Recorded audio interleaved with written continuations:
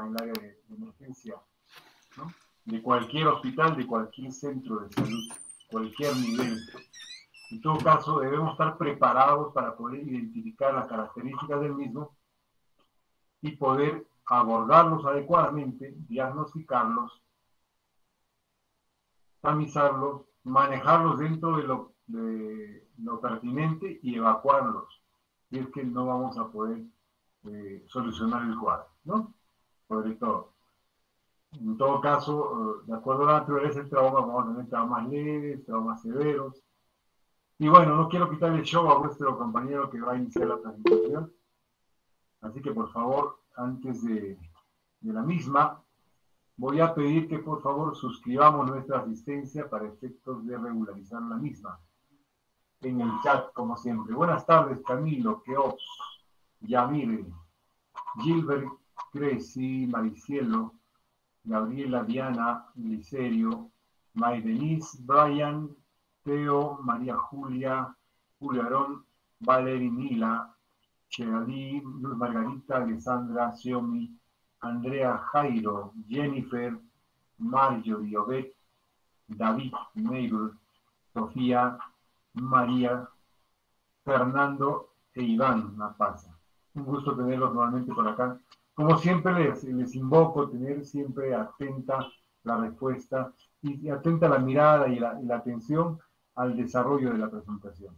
Hoy entonces eh, Nila León y Roy Loaiza van a desarrollar el tema de emergencias oculares. Habíamos eh, pretendido de repente este, obviar estos temas, pero este, la necesidad también de, refrendar y poder este, ampliar las características de cierto grupo de temas este, relacionados con trauma ocular hace necesario que volvamos a repetirlo. Entonces, ellos van a hablar hoy día acerca de dos temas importantes y esperemos por favor estar atentos. Adelante, eh, ¿vas a presentar tú o estás desarrollando? Doctor, buenas tardes. Eh, yo... Ok, Nila, Buenas tardes. Eh, el día de hoy vamos a tocar el tema de emergencias oculares. Mi persona y nuestra compañera Roylit. Siguiente, por favor. Bueno, como introducción quería recalcarles o recordarles un poquito lo que ya sabemos, ¿no? Todos, lo que es la anatomía del ojo, algo rápido lo voy a hacer. Como ya sabemos, la visión es un proceso complejo, este involucra muchas partes distintas del ojo, como podemos ver. Cuando vemos, la luz va a atravesar por la córnea, a ver si me siguen. Roy, ¿puedes apuntar con tu puntero, por favor? como ya sabemos, la luz va a atravesar primero la capa externa del ojo, que se llama córnea, luego va a pasar a través de la abertura llamada pupila y posteriormente va a pasar por el cristalino del ojo, como ya tenemos entendido todos, ¿no? Eh, como podemos ver, la parte coloreada que podemos observar es el denominado iris, como ya conocemos, y este va a tener músculos que van a controlar el tamaño de la pupila, ¿no? Y tenemos también lo que es la retina, que esta recubre el interior de la pared posterior del ojo, ¿no? Y esta tiene células que estas van a ser sensibles a la luz. En sí, a este nivel vamos a ver que se va a formar la imagen visual, eh, que esta va a ser detectada eh, por el cerebro y va a ser procesada y comprendida, ¿no? Como ya saben. Siguiente, por favor. Bueno, ahora nuestro tema son emergencias oculares. Eh, voy a tratar de hacerlo un poco didáctico para no aburrirnos, compañeros. Entonces, a ver, eh, Alessandra, tú cuando tú estás, digamos, cuando un día estamos en emergencia y llega un paciente y dicen, tenemos una emergencia ocular, ¿qué es lo que piensas tú? ¿Qué, ¿Qué es una emergencia ocular o qué se te pasa por la mente? bueno, tendría que ser alguna un cuadro clínico de un paciente que no puede esperar, que esté comprometiendo su, vida, ¿no?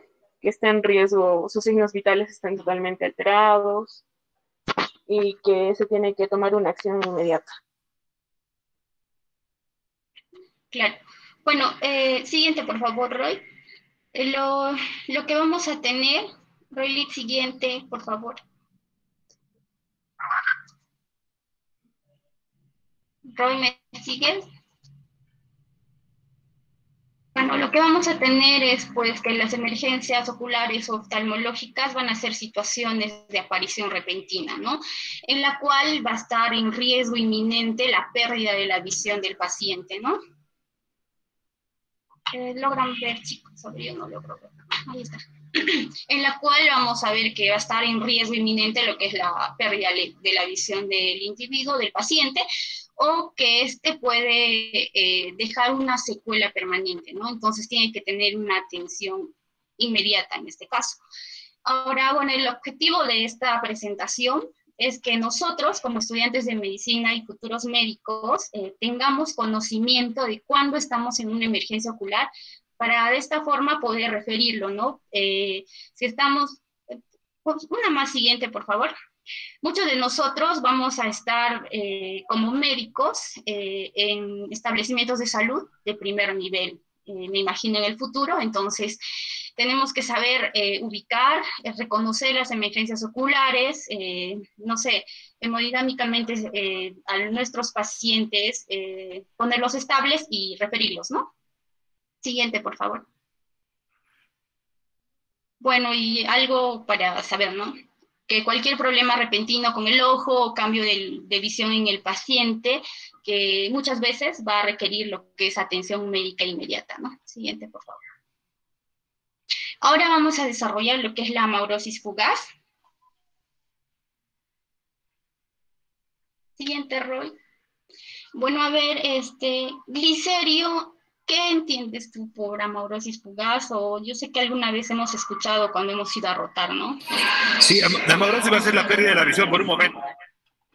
Muy bien, siguiente, Roy. Entonces, la amaurosis a significar oscuro y, y, de fugaz, que es fugaz, ¿no? Que este va a referir a lo que es una pérdida transitoria de la visión que el paciente nos va a indicar, ¿no? vamos a tener dos tipos, que es la pérdida visual monocular transitoria y la pérdida visual binocular transitoria. Entonces, bueno, en la imagen donde está el auto, yo les he querido eh, poner para que ustedes tengan la idea, ¿no? Eso es lo que el paciente nos indica. En este caso vemos que en uno de los ojos, en este caso va a tener una pérdida visual monocular transitoria, ¿no? Porque uno de los ojos del paciente es como que se le está oscureciendo. Muchas veces hay una opacidad o inclusive indican hasta el oscurecimiento total de la vista, ¿no? Y en el, fondo de ojo de la derecha, a ver, mmm, Maricielo, ¿nos podrías ayudar, por favor, con este fondo de ojo? ¿Ves algo que te llame la atención? Hola Nidia. Eh, veo que hay como un punto de luz que podría ser, no sé, quizás un émbolo. ¿Puedes hacer una más, por favor? Una flechita ahí. No, atrás. Ya, la, la cosa es que vemos, mm, puedes apuntar el puntito de arriba, está blanquito, más arriba, el de arriba, el de arriba. Ese, muy bien. Entonces, ahí podemos ver nosotros, en ese caso, vemos que es un paciente, es el fondo de ojo de un paciente de 77 años que informa haber tenido tres episodios de visión borrosa en el ojo derecho, en este caso, en la última hora antes de venir a, la emergencia o a consulta, ¿no? Dice que sus episodios del paciente duran aproximadamente cinco minutos y en el examen... Eh, un émbolo móvil, en ese caso era un video, yo le tomé la foto, se movía, eh, esa luz blanquita se movía, es un émbolo eh, que se ve como un punto de luz, ¿no? Pulsante. En este caso está en la rama superior derecha de la bifurcación de la arteria retiniana. Siguiente, por favor, Rodrigo. Bueno, eh, en lo que es la amorosis fugaz tenemos que tener en cuenta tres características principales. Uno, los rasgos importantes, que dentro de estos van a incluir la afectación, si es en, una, en un ojo o en ambos ojos. Eh, en segundo punto tenemos la duración del episodio, que esto nos puede ayudar a, llevarnos al diagnóstico, a la etiología de, este, de la amorosis fugaz. Y por último tenemos la descripción que el paciente nos brinda, ¿no? De los síntomas que ha tenido. Bueno, vamos a tener lo que es la pérdida ah, visual monocular transitoria, que está ah, generalmente implica un trastorno anterior al quiasma óptico eh, a nivel que es el ojo o el nervio óptico. En sí se, dice que cuando hay una pérdida visual monocular transitoria, podemos pensar en lo que es una isquemia, ¿no? Una isquemia generalmente de la arteria carótida ipsilateral. Ahora, en el caso de la... Atrás, Roy, por favor. En el caso de la pérdida visual binocular transitoria, en cambio, esta nos va a sugerir un proceso más posterior, ¿no? que inclusive puede involucrar lo que es el quiasma óptico, los tractos, inclusive las radiaciones y hasta la corteza visual. Ahora, en el caso de la duración, vamos a tener que eh, los oscurecimientos visuales, por ejemplo, en el caso de un papiledema, van a durar segundos. Eh, si vamos a tener eh, patología tromboembólica, en este caso de la carótida o cualquier otro lugar, este se dice que es de un minuto hasta 15 minutos. Se ha visto en raras ocasiones que duraba una hora o más. Y en el caso de la migraña se ha visto que puede ser de 10 a 30 minutos, ¿no? Eh, esta amaurosis fugaz. Siguiente, por favor. Dentro de los síntomas visuales, generalmente eh, cuando el paciente llega a la consulta o a la emergencia, eh, no está teniendo en ese momento muchas veces la amaurosis fugaz, entonces él nos describe, ¿no? Y describen como una leve borrosidad o empañamiento o inclusive hasta, la ah, hasta que se ve negro totalmente, nos dicen, ¿no? Esta puede involucrar una parte o la totalidad del campo visual y también puede, puede estar acompañada de lo que son fenómenos visuales positivos, como las fotopsias o las, eh, los centelleos, eh, que estos se van a dar a nivel del campo visual y muchas veces si nuestro paciente viene acompañado de estos eh, fenómenos visuales positivos, podemos pensar en lo que es una migraña, ¿no? En el caso de las convulsiones, estas afectan la corteza visual a, menudo y también van a tener lo que son los síntomas visuales positivos, ¿no? Pero estos van a ser eh, más fuertes al inicio, ¿no? Siguiente, por favor. Eh, un ratito. Eh, todavía no quería preguntarles, pero bueno, ya no. Ponlo nomás, Roy. Quería preguntarles si quizá ustedes eh, conocían algunos factores precipitantes que hayamos visto en, en, los hospitales cuando hemos ido a rotar, ¿no? Por ejemplo, este, como ya, ya lo puso, tenemos la luz brillante. Se dice que la enfermedad oclusiva carotidia grave, eh, se ha asociado con la disminución de la visión de un ojo después de que el paciente sea expuesto a la luz brillante, ¿no? En el caso de los cambios en la postura o, del cuello, se ha visto en casos de estenosis carotidia, eh, ya que estos eh, han sido relacionados con los cambios de postura, ¿no? Y se explica que esto se produce por el flujo sanguíneo a través de la arteria, ¿no? Porque reduce el flujo sanguíneo en el momento del cambio de posición del paciente. Siguiente, Roy. Bueno, en el movimiento del ojo a determinadas eh, posiciones, esta se ha visto que, por ejemplo, se le llama amorosis evocada por la mirada, eh, nos puede sugerir que puede haber la presencia de una masa orbitaria y se cree que, que ocurre la, la, amorosis fugaz por la interrupción del flujo sanguíneo a la retina, a la coroides o incluso al mismo nervio óptico, ¿no? Una más rollitos, ya.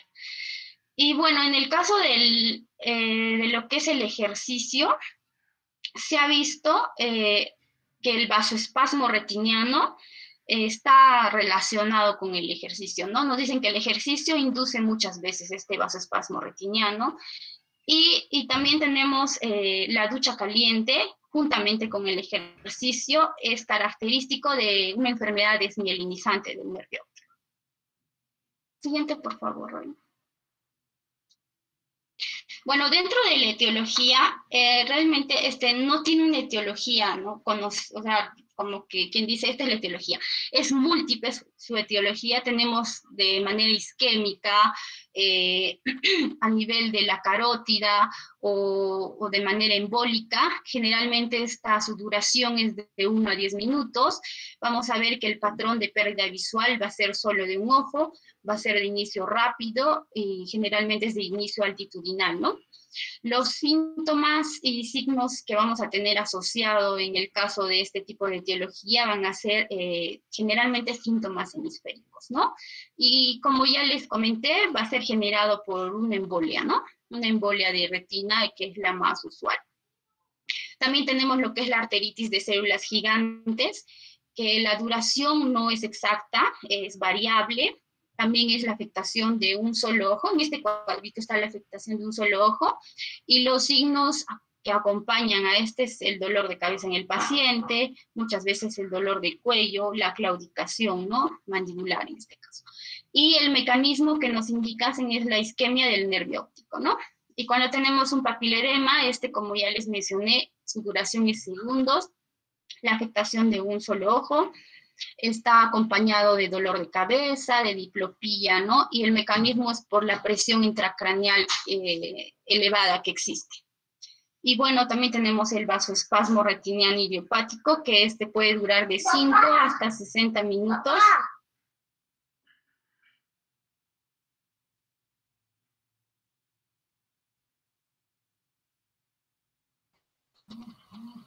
No hay problema. Eh, voy a continuar. Entonces, el vasoespasmo va a estar eh, asociado con síntomas, como les decía, eh, estenosis arterial, retiniana transitoria o inclusive cefalea en los pacientes, ¿no? Y este, bueno, el mecanismo va a ser el vasoespasmo como tal, ¿no? Siguiente, por favor.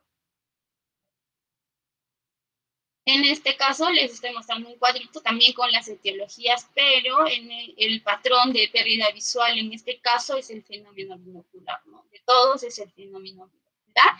Tenemos la migraña que dura de 10 a 30 minutos. El, de todos, como ya les mencioné, para no hacerlo más largo, es el binocular, ¿no? De los dos ojos. Los síntomas asociados en la migraña van a ser, pues, ¿no? Eh, primero va a tener esta amaurosis fugaz el paciente y va a estar seguida de la migraña. El mecanismo va a ser por la depresión cortical diseminada o un posible vasoespasmo retiniano en el paciente. También tenemos lo que es la isquemia vertebrovascular, que la duración se dice que es de 1 a 10 minutos.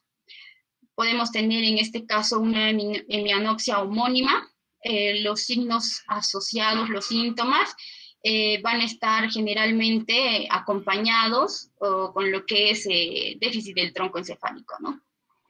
Y bueno, también tenemos las convulsiones tal y la tal que es después, ¿no? Antes de las convulsiones puede durar de 3 a 5 minutos, vamos a tener alteración de conciencia en el paciente, inclusive síntomas motores, motores, y el mecanismo va a ser eh, el síndrome epiléptico que va a tener el paciente en ese momento, ¿no? Y las postictal, que es después de las convulsiones, se dice que pueden durar de 20 minutos a más. Eh, los pacientes tienen pérdida del campo visual de los dos ojos y eh, va a haber una inhibición cortical ¿no? acá, ¿no? Siguiente, por favor. Bueno, eh, ya les comenté los síntomas asociados, acá les puse una diapositiva para que las puedan reconocer de mejor forma. Eh, son las más principales. Eh, bueno, esto es, muy importante, es indolora. puede haber cefalea, dolor periocular, hemiplegia contralateral transitoria, vértigo, disartia, diplopía y todos los síntomas que ya les mencioné en el anterior cuadro. Siguiente, por favor. Bueno, para el diagnóstico, cuando nosotros estemos con un paciente con, con amorosis fugaz, eh, con una ceguera monocular transitoria en este caso, de un solo ojo, eh, primero eh, evaluamos a todos nuestros pacientes y le realizamos un examen físico neurológico adecuado también y le podemos realizar lo que es el fondo de ojo, ¿no? Entonces, eh, separamos a nuestros pacientes menores de 50 años con los mayores de 50 años. Si mi paciente es menor de 50 años y no tiene factores de riesgo vascular, como, no sé, hipertensión, diabetes, tabaquismo, etc. Entonces, eh, le realizo una evaluación adicional en función de las características que yo vea al paciente, ¿no? Si es obeso, eh, si es dislipidémico, etcétera, ¿no? Si mi paciente es menor de 50 años, pero tiene uno o más factores de riesgo en este, en este caso, lo primero que tengo excluir, que tengo que excluir van a ser las causas de isquemia, ¿no? Le puedo tomar eh, un examen de imagen para ver su arteria carótida, eh, le, puedo, le tengo que realizar lo que es una evaluación cardíaca porque mi paciente tiene factores de riesgo. Y viendo todos estos resultados, eh, si mi diagnóstico sigue siendo incierto, viendo también las características de mi paciente, tengo que evaluarlo adicionalmente eh, con otros exámenes complementarios, ¿no? Si mi paciente es mayor de 50 años, en este caso, primero tengo que excluir que mi paciente tenga una arteritis de células gigantes, ¿no? Le puedo tomar su BCG, y si mi paciente eh, tiene un diagnóstico incierto a pesar de esto, entonces eh, también, y de igual forma, tengo que ver las características de mi paciente, el peso, eh, sus factores, etcétera, y exámenes, ¿no? Evaluarlo profundamente. Siguiente, por favor. Bueno, en lo que es eh, las pruebas de diagnóstico que, le tengo que realizar a mi paciente, es que primero el estudio, generalmente, lo primero que tengo que hacer es mi evaluación oftalmológica, ¿no?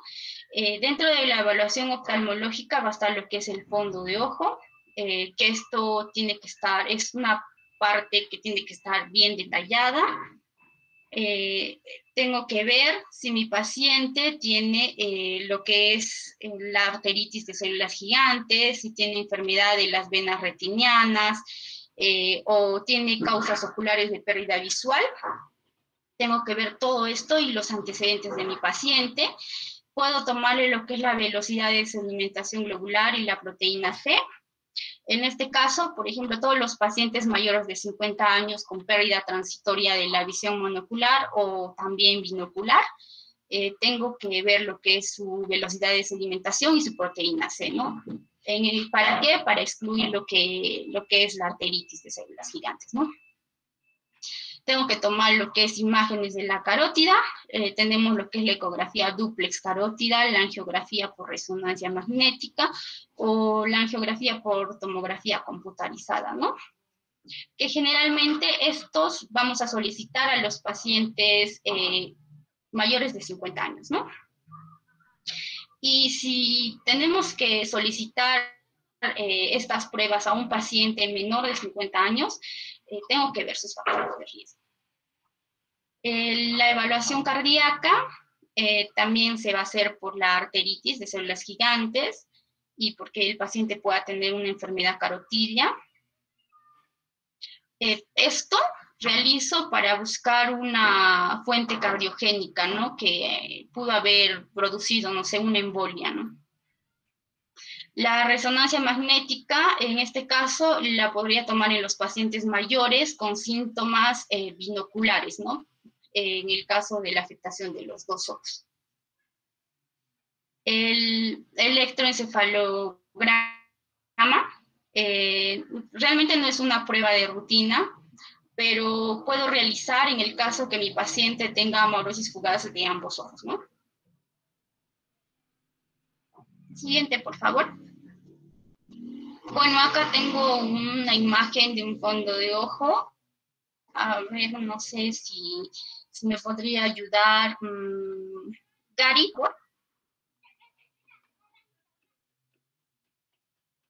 Eh, bueno, en este fondo de ojo eh, vemos que la, ah, principalmente hay un halo amarillo alrededor de la, de la mácula, ¿no? Y este es, se ve la parte inferior de, más o menos entre las a las 3 este, eh, se ve más oscuro, ¿no? No sé si se, puede decir una mancha, pero más oscuro. Ya, sí. en, el caso, este fondo de ojo es de un paciente que presentó de forma aguda lo que es pérdida de visión, eh, no, no estuvo acompañado de dolor a nivel del ojo izquierdo. Eh, este paciente, eh, vemos que en el fondo de ojo hay una, se ve blanquecino, hay un blanqueamiento retiniano, edema de la capa de, de, las fibras nerviosas y en la región macular, donde podemos ver la flechita, hay como una mancha, ¿no? Esa se, le denomina mancha rojo cereza. A nivel de la fobia.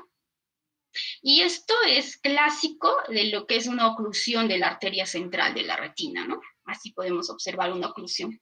Siguiente, por favor.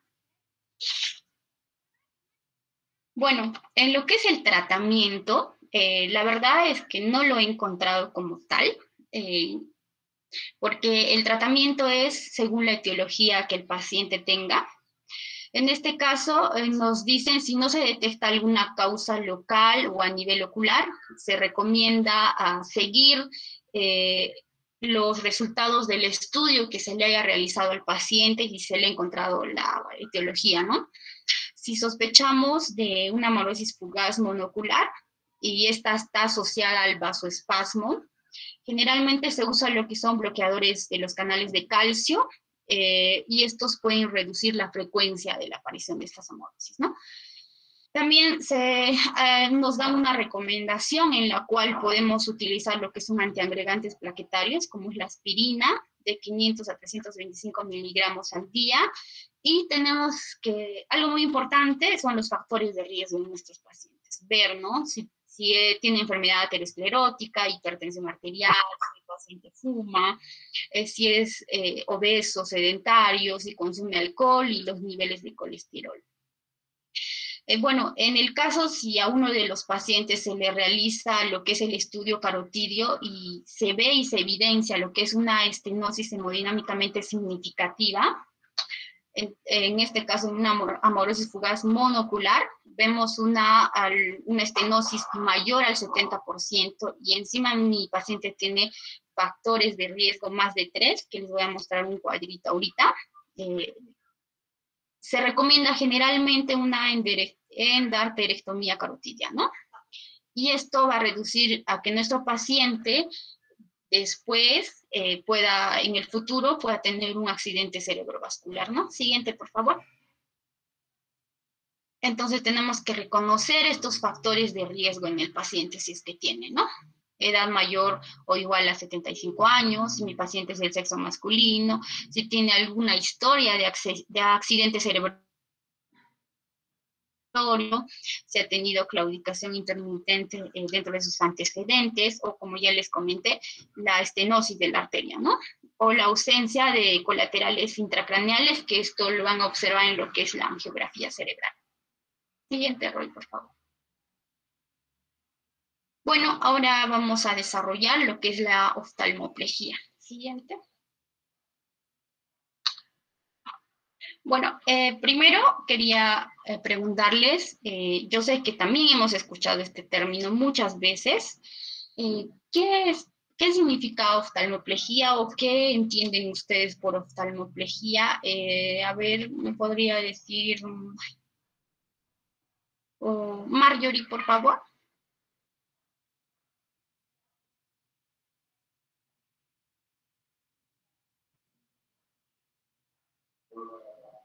Mm.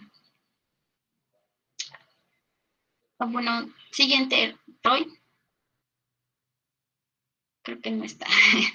ya, bueno, eh, la, atrás. La oftalmoplejía va a ser la parálisis, puede ser total o parcial de la motilidad ocular extrínseca. En este caso vamos a tener, el paciente va a tener una dificultad para realizar lo que son los movimientos oculares, ¿no?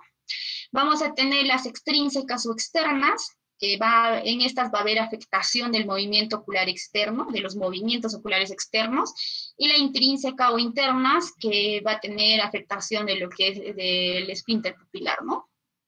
Y las totales, que va a estar relacionada tanto con los movimientos oculares externos como la alteración del esfínter pupilar. Y según el origen, vamos a tener que puede ser a nivel infranuclear, nuclear o supranuclear. Infranuclear puede estar intra o extraxial a nivel extraxial del nervio o en la unión neuromuscular o inclusive en el músculo mismo.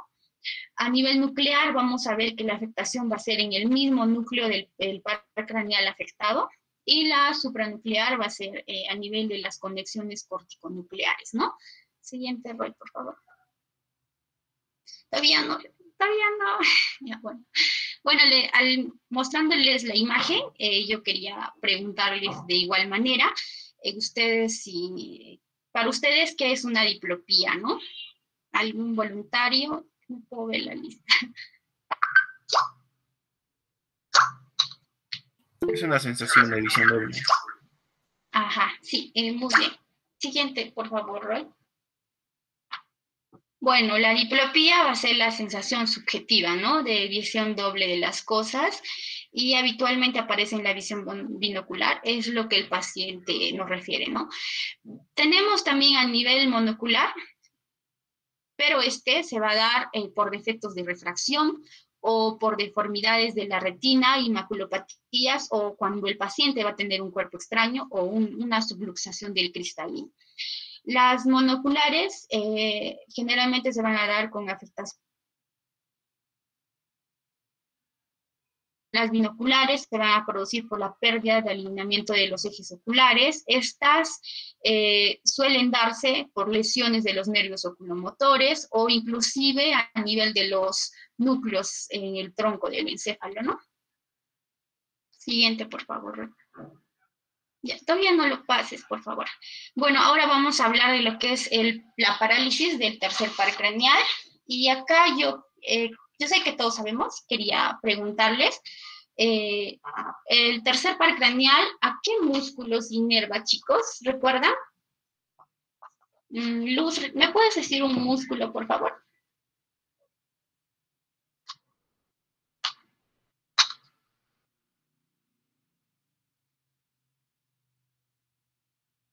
Maybel. Sí.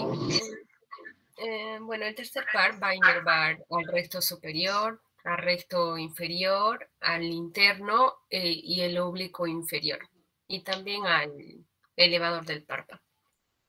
Ah, sí. Siguiente, por favor, Una nomás. Maybel nos dijo y, lo vemos, el tercer par craneal ¿no? al recto superior, al recto inferior, al recto interno, al oblicuo inferior o menor y elevador del párpado. Bueno, en, la, cuando nosotros tenemos lesión de este tercer par craneal, eh, Iván, ¿nos podrías decir qué podríamos encontrar? ¿Qué clínica tendría nuestro paciente? ¿Ves? Tengo una imagen ahí que les presenté.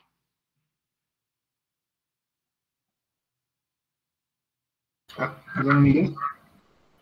Ah, bueno, este, al haber esta parálisis, pues va a haber, este, por ejemplo, si va a haber una parálisis del recto superior, o mejor, este, del recto interno, ¿no? Va a haber una dominancia, pues, este, del recto externo. Entonces, como que el ojo se va a tirar a ese lado, ¿no? La visión va a ser hacia ese lado. Sí, eh, Kevin, ¿nos podrías decir qué otra afectación o qué clínica presentaría el paciente aparte de lo que nos dijo Iván?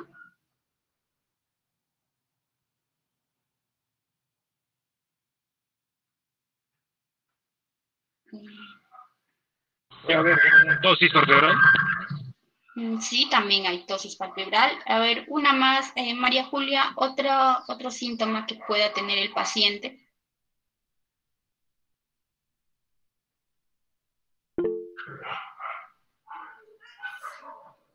En serio, sí, dinos, ya que nos quieres colaborar, los compañeros. Eh, ¿Puedo ver, Nina, puedo ver mirgiasis o diplopía de repente? Eh, sí, está bien. Bueno, siguiente, Roy. Entonces, lo que vamos a encontrar es que la lesión de este tercer par craneal va a producir lo que es que el ojo se desvía hacia afuera y hacia abajo y podemos encontrar midriasis, diplopía y tosis palpebral, ¿no? Porque está el elevador del párpado. Y bueno, una última pregunta acá, algo fácil, chicos. Eh, ¿qué, eh, en, este, en la imagen que estamos observando ahí, ¿qué ojo está afectado para ti?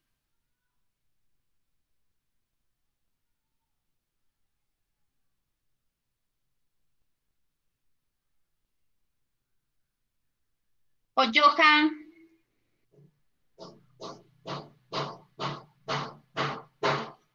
Bueno, eh, vemos que la izquierdo, ¿no? Sí, Mayel es el ojo izquierdo, porque miren, tiene una tosis palpebral, eh, el examinador está levantando, le hace, eh, hace hacer los movimientos oculares y el ojo izquierdo está en el mismo. Siguiente, por favor, Rolly. Bueno, siguiente, en, el caso de esta imagen, es el ojo derecho, el que está afectado. Eh, podemos observar la tosis, la tosis ahí en la imagen inferior del medio está clarita, la tosis palpebral.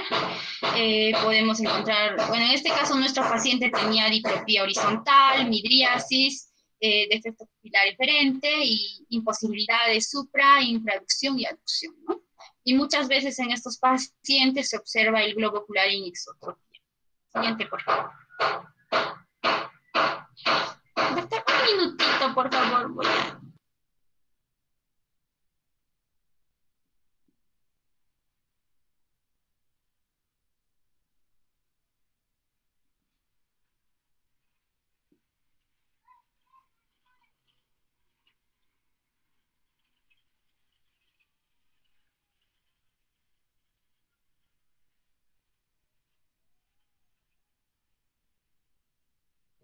Ya, bueno, disculpen chicos, desde mi, mi vecino está golpeando.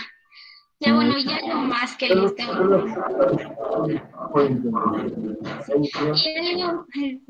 Voy a hablar un poco más. Bueno, doctor, disculpe. ¿Continúa, no hay problema? Sí.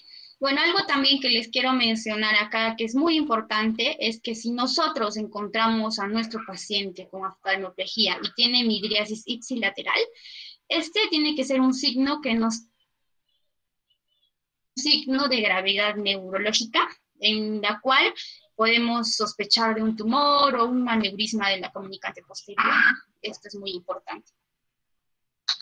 Siguiente, por favor. Bueno, eh, como les dije, teníamos una parálisis nuclear. En este caso, tenemos una parálisis completa del tercer par craneal izquierdo con tosis y ausencia de elevación. En la imagen vemos es un paciente eh, mayor de 50 años que ha tenido una isquemia microangiopática por diabetes mellitus mal controlada. Eh, ahí tenemos fotografía. También tenemos lo que son las lesiones infranucleares, que estas, como ya les mencioné, que eran intra o extraxiales del nervio en la unión neuromuscular o inclusive en el músculo. Ahora tenemos lo que es, eh, estas podemos encontrarlas por compresión, que van a estar asociadas o van a iniciar con síntomas parasimpáticos, puede ser isquémicos cuando nuestro paciente tiene diabetes mellitus o arteritis temporal o aneurismática, ¿no? Generalmente se da en lo que es la comunicante posterior, el tronco basilar y la carótida intracavernosa y de, también de manera tumoral, eh, tumores hipoficiarios o meningiomas, ¿no? Siguiente, por favor. Bueno, y el manejo, en este caso vamos a tener, eh, tenemos que ver la pupila, ¿no? Eh, si no involucra la pupila y nuestro paciente es mayor de 50 años, entonces podemos pensar en una microangiopatía. Generalmente pasa eso. Y solo se espera, ¿no? Porque la recuperación de nuestro paciente se va a dar inclusive en menor de dos meses. Pero en el caso si, eh, si tampoco se involucra la pupila, eh, y nuestro paciente es menor de 50 años, es un paciente joven, le tenemos que realizar lo que es una resonancia magnética, una angioresonancia, una angiografía cerebral. ¿Para qué? Para que podamos descartar algún aneurisma o alguna lesión tumoral. Y a cualquier edad, como ya les comenté, si nosotros vemos afectada la pupila, es una urgencia, ¿no? Tenemos que pensar en aneurisma cerebral generalmente del segmento de comunicante posterior, ¿no? Y también eh, se ha visto que en los menores de 14 años la etiología eh, es traumática, ¿no? O congénita. Y tenemos que también tener en cuenta lo que es la miastenia gravis, porque esta es una gran simuladora. Podemos equivocarnos con esta. Siguiente, por favor. Siguiente, por favor. Bueno, ahora tenemos lo que es la parálisis del cuarto par craneal, que es el nervio eh, troclear. Este, cuando va a estar afectado, vamos a tener lo que es la incapacidad para mirar hacia abajo y adentro, y esto nos va a producir muchas veces lo que es la diplopía. Va a tener una diplopía vertical de predominio inferior nuestro paciente, eh, y vamos a ver que el paciente eh, nos va a referir que dificulta bajar las escaleras, ¿no? Y va como que la cabeza va a inclinar hacia el lado sano para compensar el déficit, ¿no? En este caso, del oblicuo superior. Eh, como sabemos, este cuarto par craneal es el que inerva el oblicuo superior, ¿no? Cuando el paciente mira hacia arriba o afuera, va, a referir que ya no tiene la diplopía o la diplopía mejora, ¿no? Eh, los pacientes tienen también hipermetropía ipsilateral, que esta va a empeorar con la lateroversión contralateral, ¿no? Lateral en el paciente. Siguiente, por favor. En esta imagen vemos que en la imagen de arriba el, paciente como que eh, se ve la afectación del cuarto par craneal, del oblicuo mayor, y en la parte de abajo como que inclina un poco y mejora, ¿no? Dentro de las causas eh, se ha visto que es, puede ser isquémica, traumática, por compresión de manera congénita o muchas veces inclusive idiopática. Siguiente, por favor. Bueno, y tenemos también la parálisis del sexto par craneal, que es el recto lateral, el recto externo, el, el abducen. En este caso, el ojo se va a desviar hacia adentro. El paciente, en, este, en, la, imagen vemos que el paciente, el ojo afectado es el ojo derecho. Vemos la afectación del ojo derecho. Eh, el paciente no puede abducir, no puede llevar el, ojo hacia la, lateralmente se va a venir hacia la línea media, ¿no? Va a presentar diplopía horizontal, que muchas veces mejora con la convergencia y se va a acentuar en la visión a distancia o cuando se intenta abducir el ojo afectado, ¿no? Siguiente, por favor. Y bueno, este, esta imagen les puse para que, para poder conversar con ustedes, preguntarles como un repaso general en la cual, ¿qué vamos a encontrar en cada lesión, no? A ver, chicos, de una manera rápida lo vamos a hacer.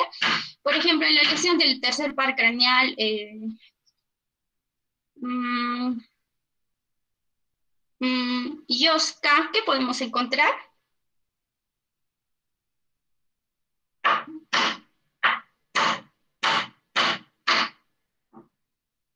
Bueno, chicos, creo que no.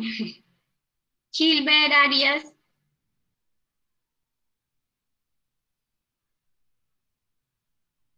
Mm, bueno, Roy, siguiente, por favor. al final les quería mostrar un cuadrito en la cual tenemos todos los músculos que generalmente se afectan. El nervio es como un repaso, lo es rápido. Tenemos el recto externo que está inervado por el sexto par craneal.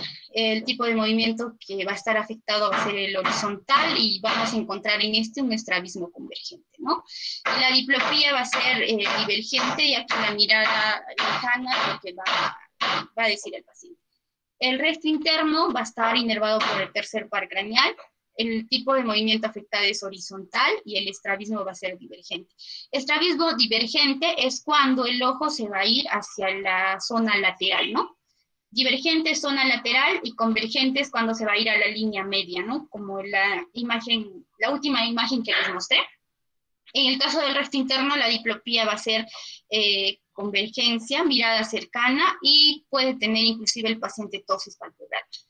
Eh, lo que es el resto interno menor, superior y el inferior, como todos estos están eh, inervados por lo que es el tercer par craneal, van a estar eh, asociados a lo que es la tosis palpebral y también la midriasis, ¿no, chicos? Y lo que tenemos el oblicuo mayor, que es eh, cuando hay afectación del cuarto par craneal, de, cuando hay parálisis de este músculo. Vamos a ver que el tipo de movimiento va a ser vertical, el estrabismo puede ser de arriba y adentro, y vamos a ver que la diplopía va a ser en el caso de la depresión o abducción. Siguiente, por favor. Y bueno, eh, como último tema, eh, mi personal les voy a explicar lo que es el síndrome de Tolosa-Hood. Este síndrome va a ser una inflamación granulomatosa de manera idiopática del seno cavernoso o puede ser también a nivel de la fisura orbitaria superior, que está caracterizado por lo que es la oftalmoplegia. Es un diagnóstico diferencial a, a las oftalmoplegias que ya les presenté algo muy distinto en este es que es dolorosa, ¿no? Y unilateral generalmente, pero se ha visto que, se ha descrito que un 2% eh, se ha presentado de manera bilateral. Es una patología poco usual. Su incidencia eh, anualmente es de 1 a 2 casos por un millón de personas. Se da de igual manera tanto en hombres como en mujeres y se ha visto que la, la mayor cantidad de pacientes se ha dado entre 20 y 40 años, pero la bibliografía nos refiere que también en, en situaciones raras se ha visto en pacientes pediátricos y ancianos, ¿no? Dentro de la fisiopatología, no tiene una fisiopatología establecida. Un minutito, por favor.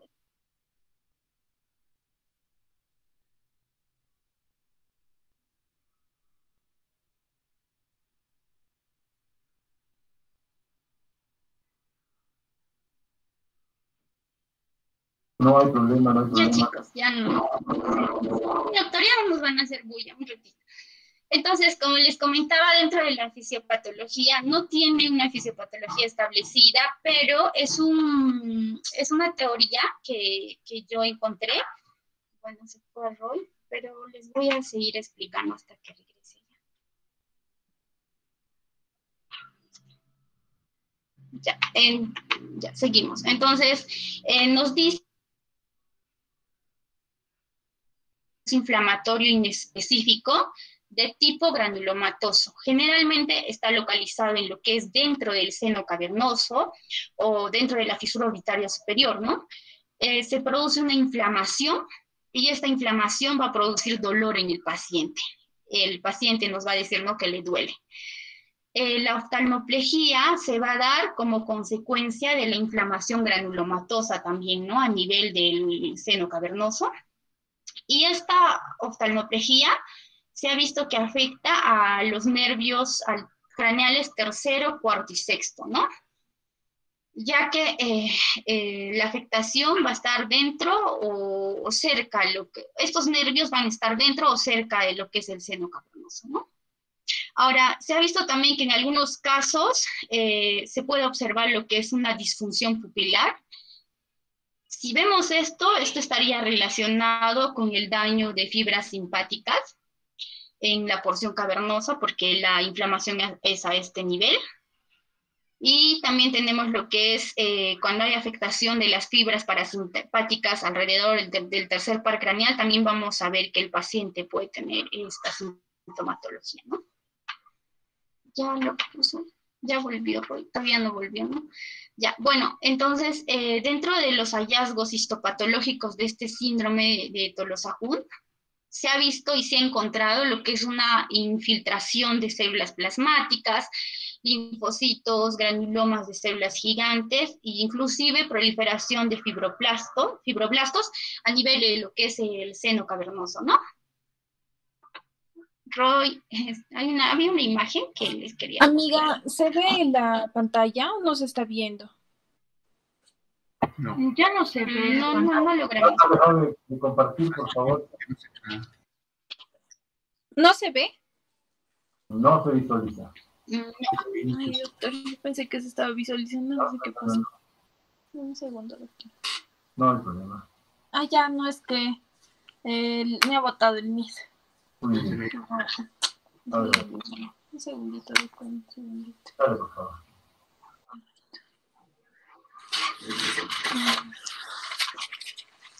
Bueno, eh, les voy a estar comentando el cuadro clínico de este síndrome. Eh, vamos a encontrar lo que es un, el paciente se queja de un dolor ocular que es retro o periorbitrario, generalmente es unilateral, eh, manifiestan que es intenso, continuo, es, de, es de, como lancinante o inclusive como punzada, ¿no? Es que este, este dolor puede irradiar a regiones como frontal, temporal, etcétera, del mismo lado, de la afectación del mismo lado del ojo, ¿no? Ipsilateral. Muchas veces también se ha encontrado lo que es la diplopía por parecia de nervios craneales oculomotores y eh, lo que también se ha visto es que, como ya les mencioné, la afectación, ¿no? De los tres nervios oculomotores, tercero, cuarto y sexto. ¿Continúa, doctor? ¿O esperamos a mi compañera? está cargando, y está cargando. Un conversatorio hasta que pueda volver a, entregar las imágenes, ¿no? En realidad se han estado tocando temas importantes eh, que van a ser de utilidad, sí van a ser de utilidad para poder este, aplicar nuestros conocimientos en los años de básicos, en el año de internado, en el año de, trabajo en Perú, y cuando estemos frente de repente a centros de salud de primer nivel. Estos este, conocimientos, estos conceptos van a ser muy, muy importantes poder aplicarlos. Básicamente porque primero integran temas de anatomía, de fisiología, y de la genealogía que están este, descritos adecuadamente en el transcurso de esta presentación. Entonces, Frank, a ver, continúa, por favor. Es, es, un caso interesante, realmente. ¿Qué es lo que estaba? Este, continúa, por favor, con Ya, bueno, entonces en la imagen podemos observar, en la imagen A, B, C y D, vemos la oftalmoplegia del ojo izquierdo en el paciente, ¿no? Y este paciente se le ha realizado una resonancia magnética en la cual se ha... En la resonancia magnética se ha visto una hiperintensidad del seno cavernoso izquierdo, ¿no? Con aumento de su tamaño. Siguiente, Roy. Bueno, el cuadro clínico ya les mencioné. Y se han eh, establecido criterios de diagnóstico eh, cuando se le toma la resonancia magnética al paciente. Vamos a tener lo que son criterios primarios y criterios secundarios. Eh, Dentro de los primarios tenemos la presencia de lesión dentro de la porción anterior, anterior del seno cavernoso, aumento de tamaño del seno cavernoso y el contorno dural del seno cavernoso protuberante, ¿no? Y dentro de los criterios secundarios tenemos que la pérdida en definición de bordes de la dura en, T2, el compromiso de la arteria carótida interna, la extensión hacia la fisura orbitaria superior y el compromiso de ápice orbitario y del nervio orbitario. Entonces, eh, para que nosotros podamos realizar un diagnóstico oportuno en, un paciente que sospechemos un síndrome de los Ajuns, tenemos que realizarle sí o sí una resonancia magnética. Es lo, se puede realizar una tomografía, pero nos indican que lo esencial es la resonancia magnética, ¿no? Y eh, este, eh, esta resonancia magnética no tiene que estar asociada a lo que es la presencia de otra condición. Como puede ser de algo inflamatorio, algo infeccioso, un tumor en el paciente o algo autoinmune, ¿no? Y dentro del tratamiento, se ha visto que, o sea, no hay un tratamiento que esté como en una guía específica, hasta donde yo revisé dentro de la bibliografía, pero en estos pacientes se utiliza corticosteroides y se ha visto que la, respuesta en el paciente, el paciente viene con toda la sintomatología que les mencioné, le colocan corticosteroides, por ejemplo, prednisona oral a dosis de un miligramo por kilogramo día, y en casos severos inclusive usan la metilprednisolona endovenosa, se ha visto que cuando el paciente inicia tratamiento, antes de las, ah, incluso a las 48 horas, cuando le vuelven a evaluar al paciente, prácticamente ha mejorado mucho, bastante, ¿no? Ya no tiene la tosis, puede realizar los movimientos oculares, etcétera, ¿no? Siguiente, por favor.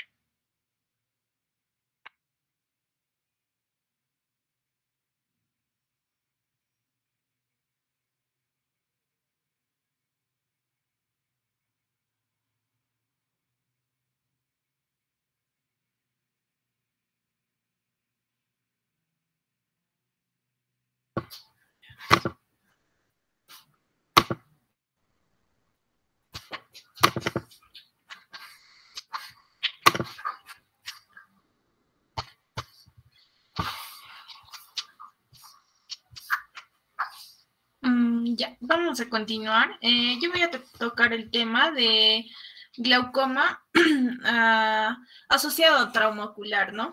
Eh, ya que hemos tocado este tema. Eh, bueno, como bien sabemos,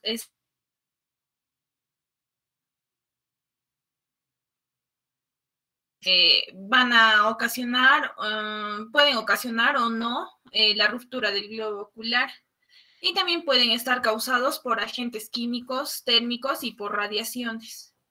Eh, las contusiones oculares eh, pueden cursar de inicio con hipotensión, tensión normal o hipertensión.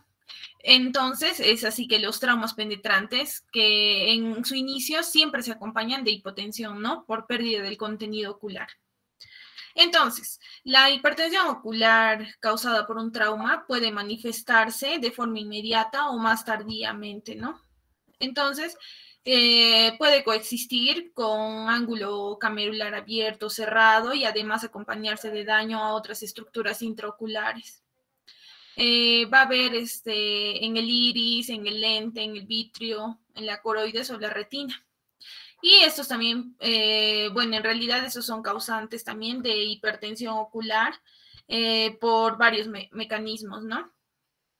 Entonces, esta hipertensión puede ser de forma transitoria o convertirse en un verdadero glaucoma con el tiempo, ¿no?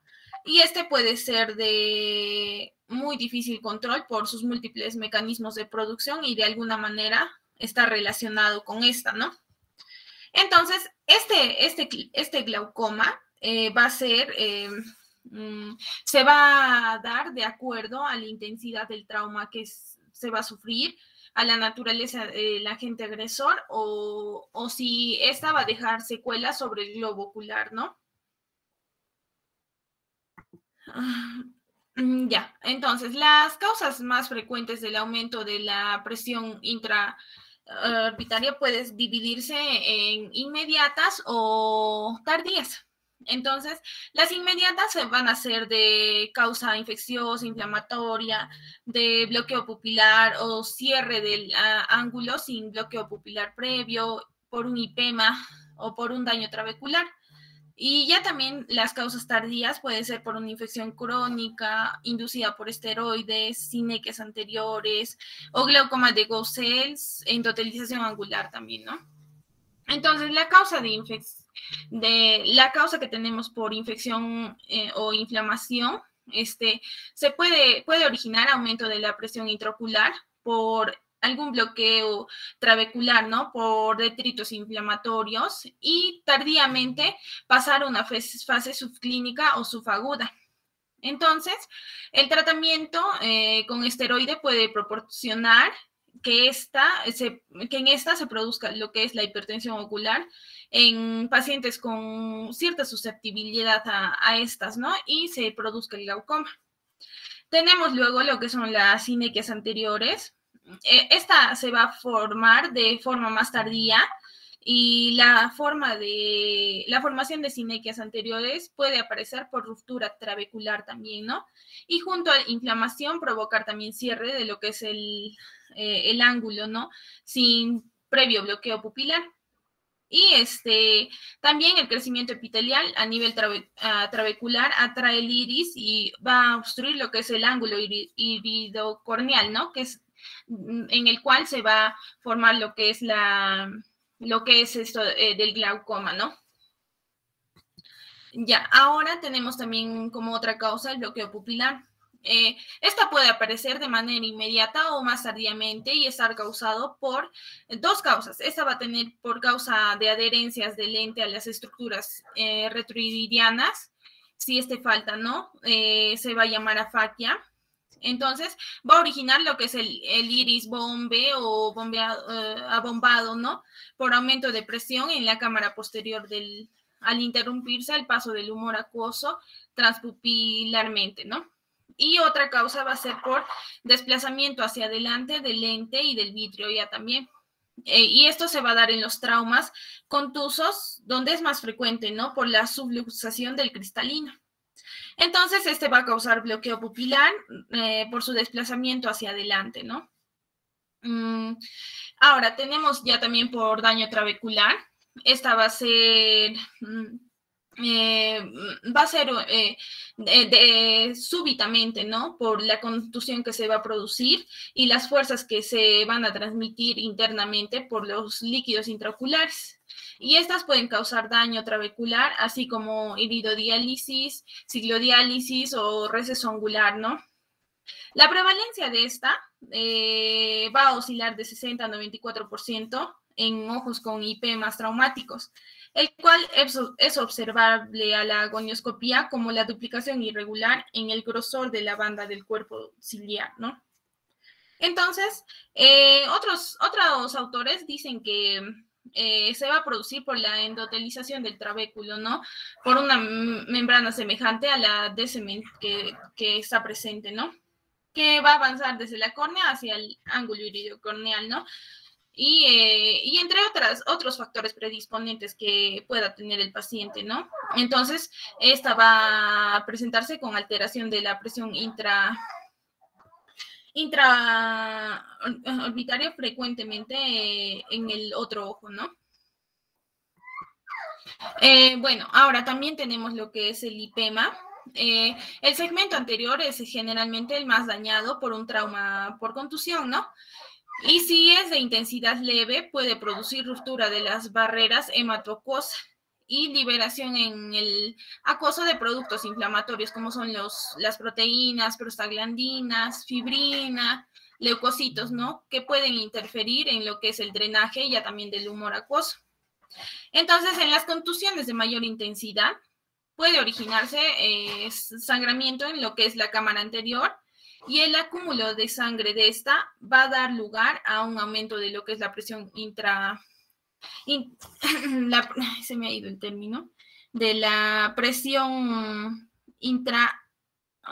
intra óptica, ¿no? Presión intraóptica.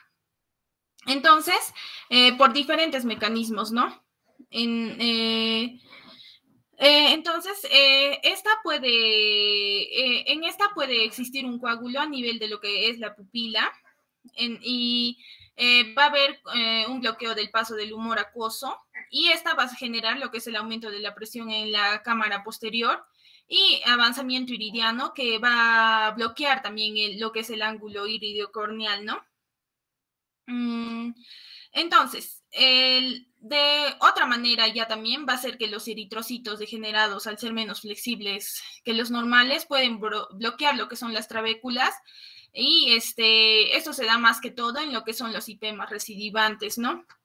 Em, luego tenemos lo que es eh, cuando esta, esta sangre roja en cámara anterior se vuelve oscura, las células rojas se concentran compactándose, ¿no? Y la presión intra ocular es extremadamente elevada, ¿no? Y se produce lo que es el glaucoma.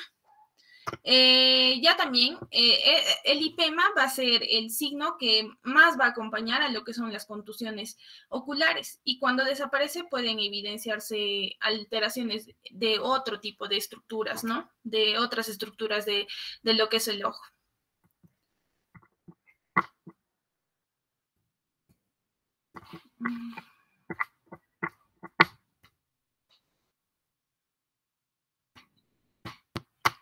Ya. Eh, luego también vamos a tener lo que es el daño trabecular. Eh, esta se va a dar de forma súbita también por una deformidad, eh, deformidad causada por la misma contusión, ¿no? Y las fuerzas que se van a transmitir, ¿no? Internamente. Bueno, esto ya lo expliqué.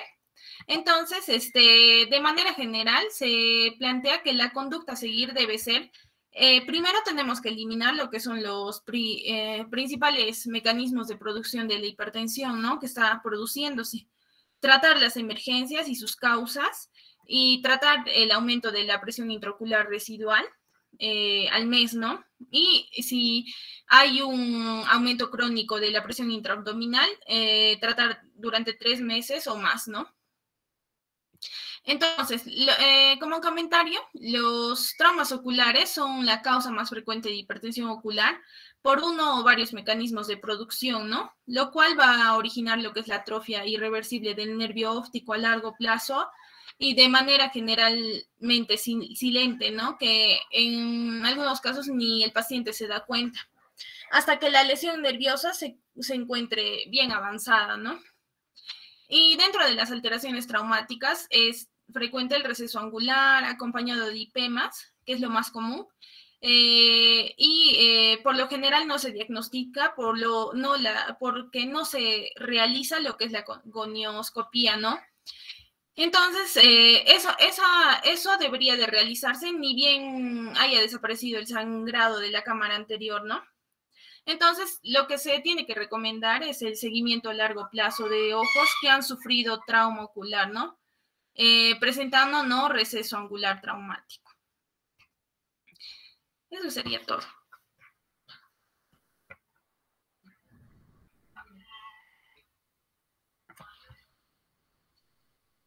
Doctor.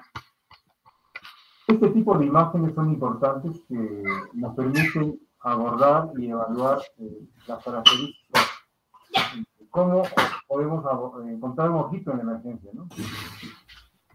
Bueno, si vamos a tener el antecedente de un trauma ocular contuso, este, penetrante, eh, y si en la historia clínica encontramos la historia de un ángulo estrecho, entonces, lo más probable es que vamos a tener que eh, ya tener el diagnóstico casi solucionado. Entonces, vamos a pensar que la, la, situación va a ser primero encontrar si la transparencia corneal es adecuada.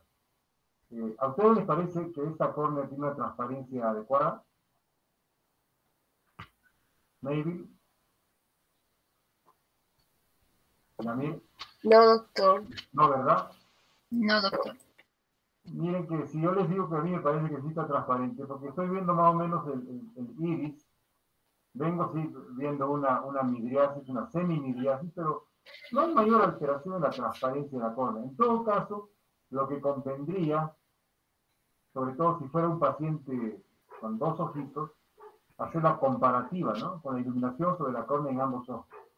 Y si yo veo el reflejo de la luz en ambos ojos, entonces eh, similar en ambos ojos, no voy a ver, no voy a tener que comprometer una, una, posibilidad diagnóstica de edema corneal o alteración de la transparencia de la córnea.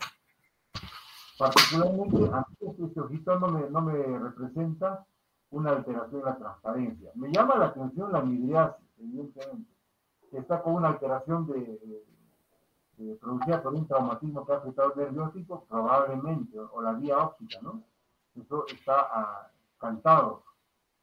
Pero de ahí, allá, ¿a qué va, además de plus sobre ese, ese trauma?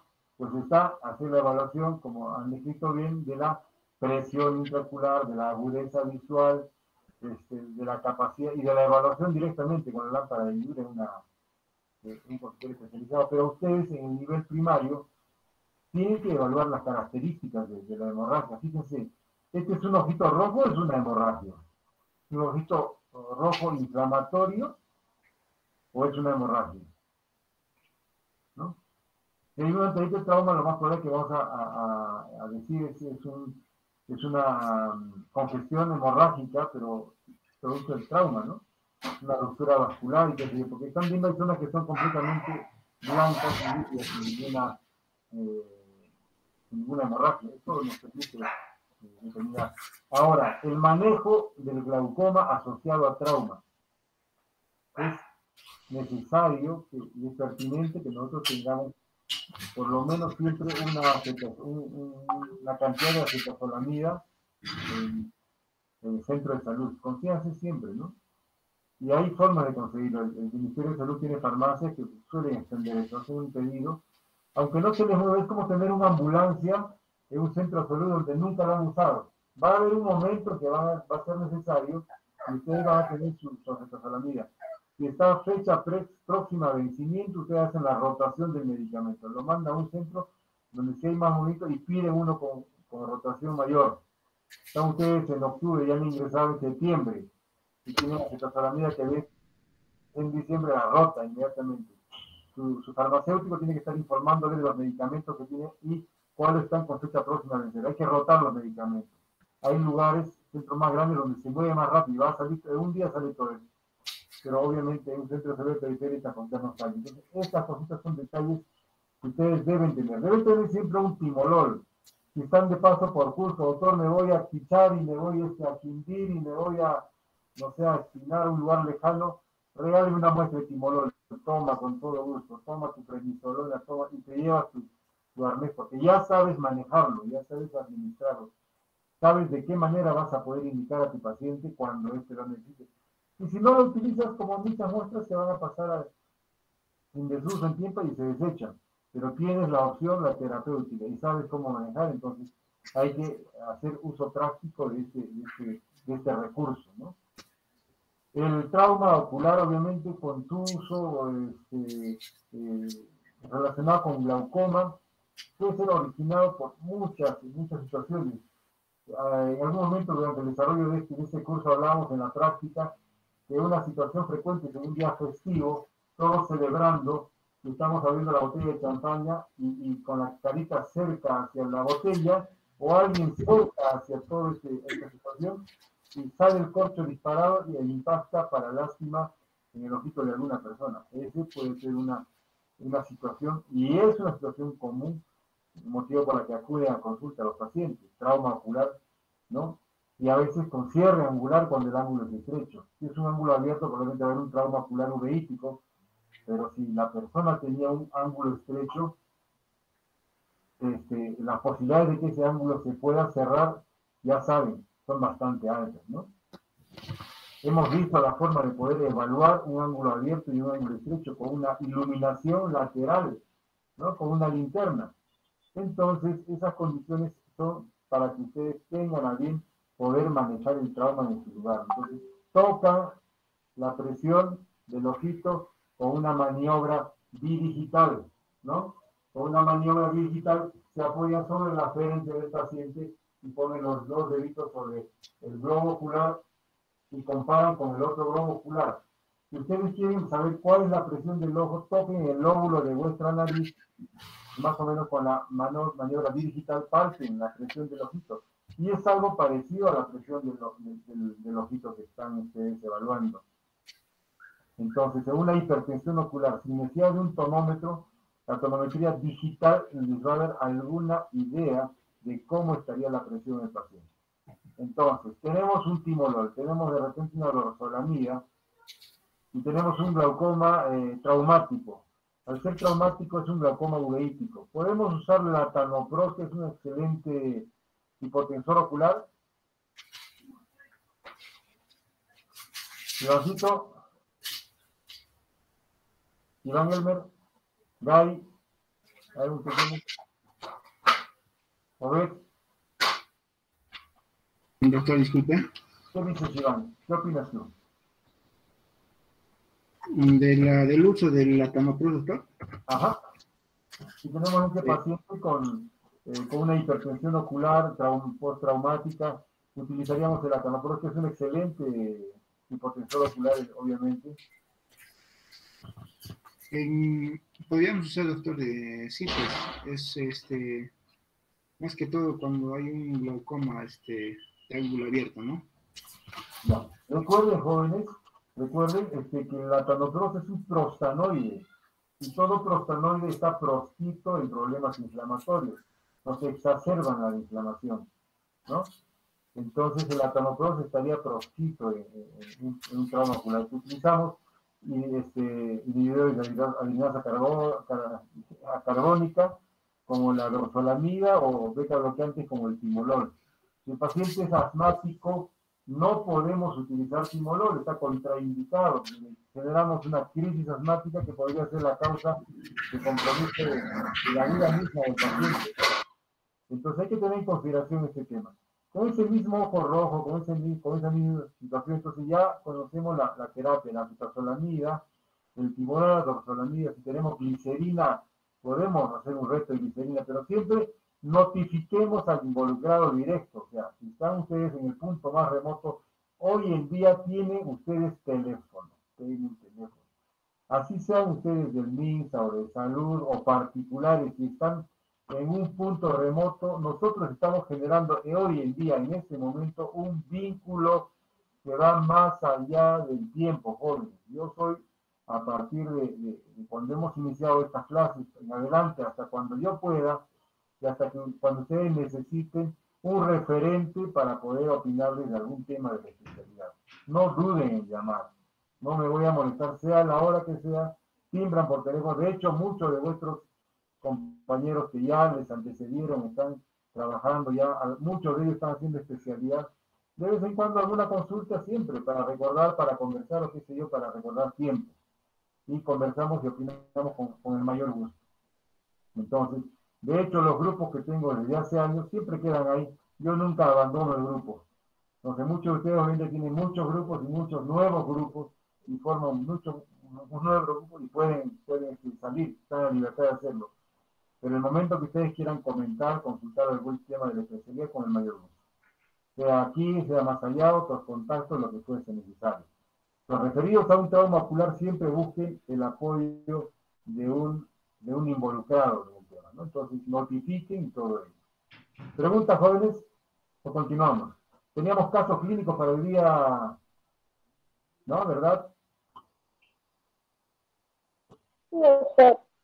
Alisa, por favor. ¿Quién tiene preguntas ¿Podría presentarlo, por favor? ¿Quién va a desarrollar? Adelante, Alessandra, gracias.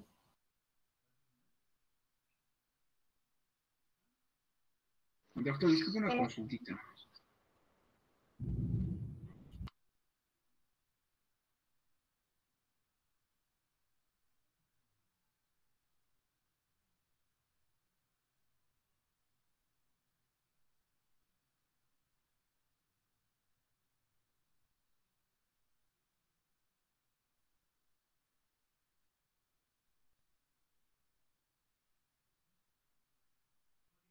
Entre tanto, si hay alguna pregunta, jóvenes, como ya hemos ofrecido, por el chat, por favor, por el chat. O Ivancito, dale, por favor, ya, ya tomaste la palabra.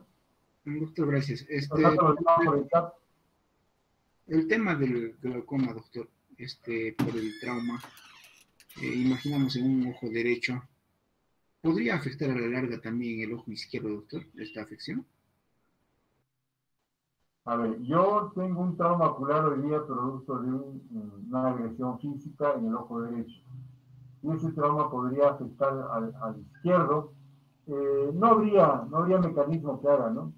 De repente, si fue una conmoción, un traumatismo encefalocraneano, una cosa mayor, un trauma frontofacial, que afecte más a un ojito y, y de repente el mecanismo de aceleración y desaceleración que podría sufrir la vasculatura eh, eh, coroidea, podría de repente, podría, ¿no?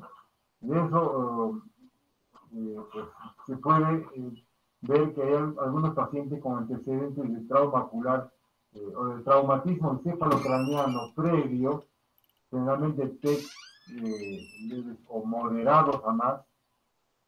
algunos, algunos lo, lo, nombran como antecedente, como cuando uno pregunta, obviamente, si tú no le preguntas al paciente, nunca te vas a enterar que ha tenido. Hoy les comento un caso pequeño, ¿no? Llega un niño de, de entonces llega de Quillabamba el niño con, eh, pues, una, a ver, se las voy a, aunque no, no, no tengo autorización de la familia para compartir la imagen, pero ya con una proptosis, ¿no? La primera imagen que se me viene a la cabeza cuando veo a un niño de tres años con una proptosis ¿Qué dirían ustedes, jóvenes? Un ojito al medio. ¿Retinoblastoma? Retinoblastoma al toque, gracias, Giserio. Entonces, se te viene a la cabeza, porque eres mal pensado, pues eres oftalmólogo, eres mal pensado, porque has visto muchos casos de eso, ¿no? Niño de 3 años, retinoblastoma, y retinoblastoma es como un denominador de qué a corto plazo. Si no hacemos algo para diagnosticar, es muerte, ¿verdad? Un tumor, es un cáncer bastante agresivo, etc. Pero bueno, entonces lo primero que se me ocurre fue el retinoblastoma. Pero al poco tiempo este, hago, hago un poco de análisis y me comenta que en el caso de, un niño que días atrás eh, su mamá eh, lo había llevado, su papá lo llevado al jardín y cree la mamá que en, la moto algún bicho había ingresado al ojito y que podía ser una, eh, una infección ocular y qué sé yo. Y ese mismo día, en el almuerzo, el niño empieza a acusar molestias en, la muela, en, el maxilar superior del lado afectado. Y que levantan el cachete y ven los carrillos y encuentran este, unas lesiones eh, eritematosas. Y, bueno, eso fue a media mañana y en la tarde el niño ya no podía comer sus alimentos y empieza a presentar un, edema palpebral. ¿Ok? Eso es el día viernes, para el sábado lo llevan al hospital, lo hospitalizan, empiezan a manejar como una celulitis este, El día domingo, miren, ingresa un día X, sábado en la mañana y el domingo en la noche eh, me notifican a mí, me muestran una foto, sí, evidentemente había una, una flogosis y la, referencia era el niño se frota mucho el ojo. Y eso vamos a ver con frecuencia. Cuando vemos un niño que se frota el ojito, puede presentar un edema en el ojito involucrado bastante importante y rápido, de rápida formación.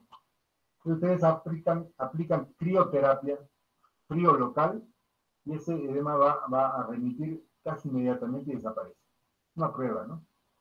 Y si ustedes tocan y hay, hay, calor local, es otra cosa, ya es una, una celulitis. Entonces me estaba manejando por celulitis y me dijeron que había iniciado eh, circulación de clindamicina. Entonces pedí más evolución, me dijo que estaba mejor, en la, al día siguiente pregunto, sí, está bien, tranquilo, no hay problema.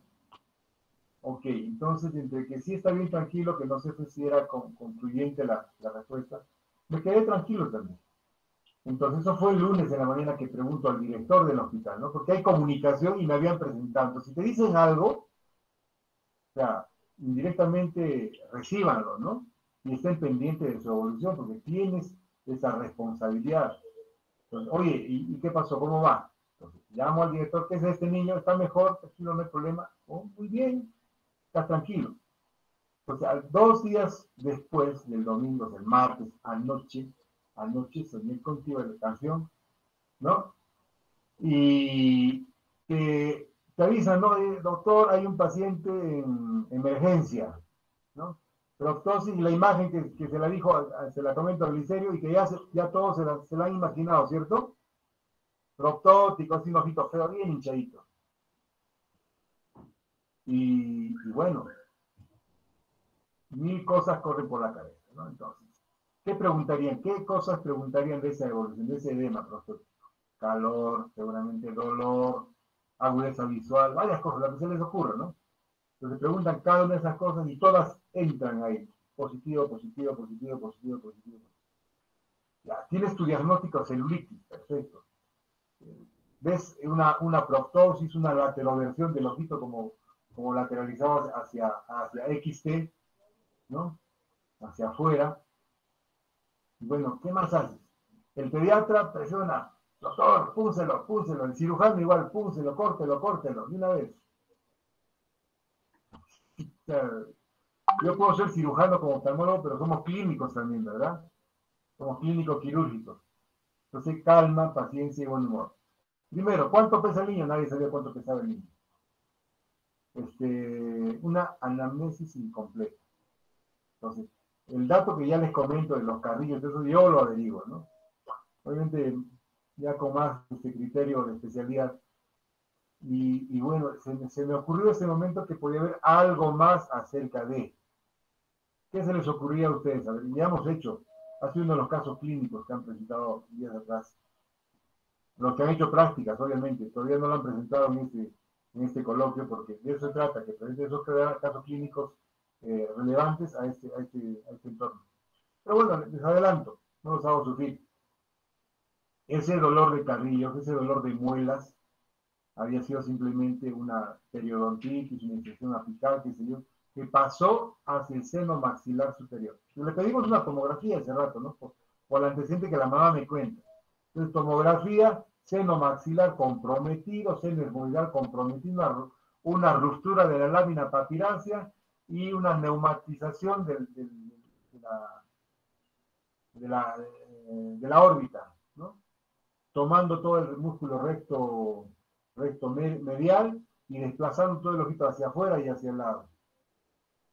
Entonces yo hubiera entrado obviamente a operar si hubiera sido este, poco experimentado, ¿no? Nomás las canitas de vuestro docente y bueno, y el conversatorio con, con, los colegas, porque lo manejamos con los colegas en la noche, conversamos, mira, esto me parece, sí, estamos de acuerdo, sí, esto tranquilo, pediremos la evaluación a quienes corresponde, porque ojo, donde ustedes agarran y dicen, yo soy el máximo, yo voy a decidir, y no toman la opinión de otros, podemos tener un éxito o podría ser realmente lo necesario y lo que haber hecho, ¿no? Comunicarlo. Si tenemos los recursos a mano, utilicemos. Llamen, comuniquen. Pidan ayuda. No, es malo, no es malo. Y entonces eh, se hizo el drenaje del, seno maxilar, salió como, yo les puedo decir literalmente, ¿no? Como un litro de pus y a presión, pum, apenas rompe el, el de la zona de Carbel, la incisión de Carbel que le hace por encima del maxilar, y el seno vaginal libera pues cantidad de pus, pero bastante maloliente, etcétera, etcétera. Lo único que hicimos, que hicimos esa noche, entonces, había visto, ¿y qué medicación tiene? Ya tiene ceftriaxona y clindamicina. ¿Qué más le, añadiríamos, jóvenes? A ver. Es una zona cerrada, ¿no? Edematizada, entonces, ¿a quiénes tengo que cubrir también ahí? A los famosos, a los famosos A. Anaerobios.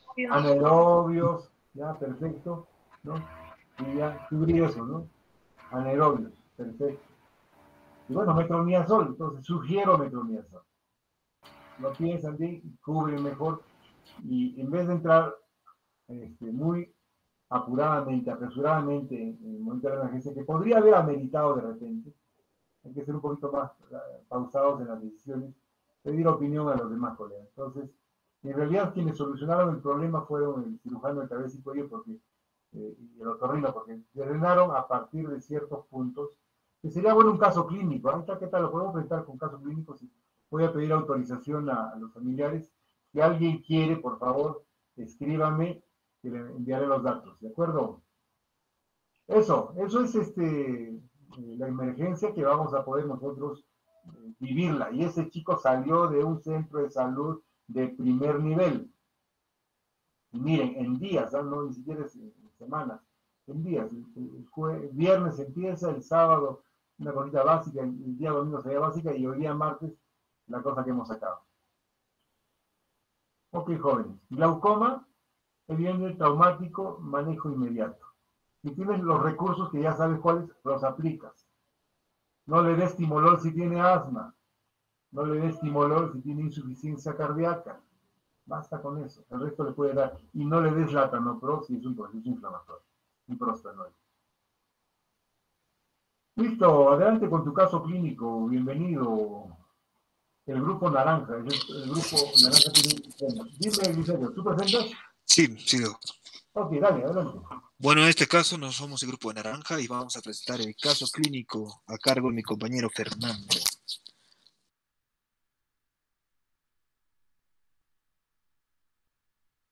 Buenas tardes, doctor, y buenas tardes, compañeros. Bueno, yo les voy a presentar eh, la anamnesis.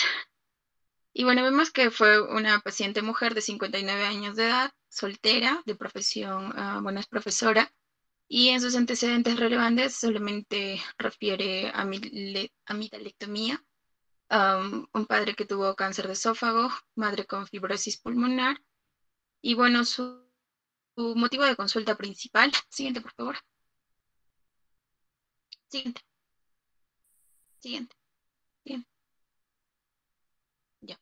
Y su motivo de consulta principal, bueno, fue la disminución de agudeza visual de forma progresiva, también presentó un ojo derecho ah, ah, rojo y con constante lagrimeo. Ella refiere mareo y bueno, se observa también en el ojo derecho un pterygium, ¿no? la paciente refiere que ve líneas ondeadas y eso es lo que, lo que le marea. así, líneas distorsionadas, onduladas. Entonces, uh, Iván, ¿podrías decirnos, por favor, cómo le llamamos a este síntoma?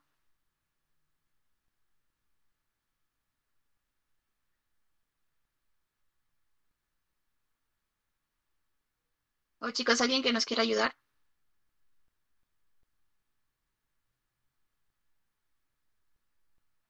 Bueno, llamamos metamorfopsias, ¿no?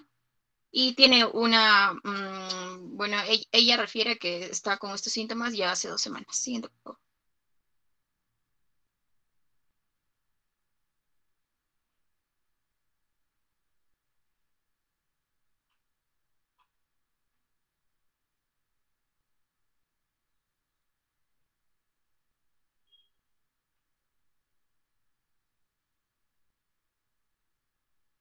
Perdón. Bueno, para continuar con el caso clínico, eh, bueno, se le realizó un examen físico a la paciente, donde se utilizó el test de Snellen en este caso para mm, evaluar sobre todo la agudeza visual.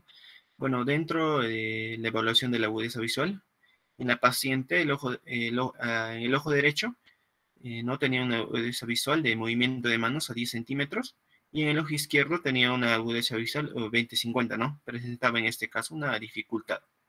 Bueno, también se le realizó a la paciente lo que viene a ser la regía de Amsler, sobre todo, ¿no? Pensando en una patología común en este caso, ¿no? Que más adelante lo vamos a ver.